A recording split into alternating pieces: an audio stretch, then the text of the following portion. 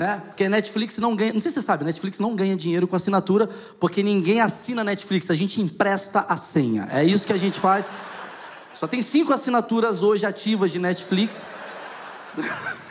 Eu, particularmente, eu, eu amo assistir Netflix, cara. Eu, eu, vejo pela idade da galera que tá aqui, eu não sei se vocês gostam de assistir Netflix, assim. Eu acho que vocês gostam de assistir série, que vocês são jovens.